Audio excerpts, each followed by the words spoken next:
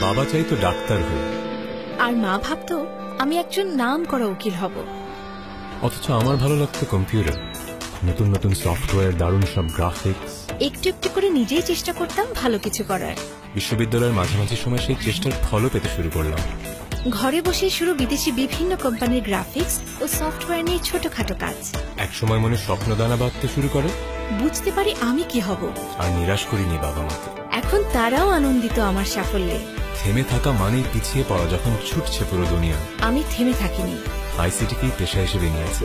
আর ছোট ছোট সাফল্য দিয়ে শুরু হওয়া আইসিটি সেক্টরে? আমরা এখন সেরাদের দলে। এখন দেশ জুড়ে কাজ করছে ছ লক্ষ ফ্রিল্যান্সার তৈরি হচ্ছে hi tech park software park চৌষট্টিটি জেলায় শুরু হতে যাচ্ছে এলআইসিটির বিশ্বমানের training programme ICT career camp দু হাজার ষোলো। ডিজিটাল বাংলাদেশে আমরা দুর্বার।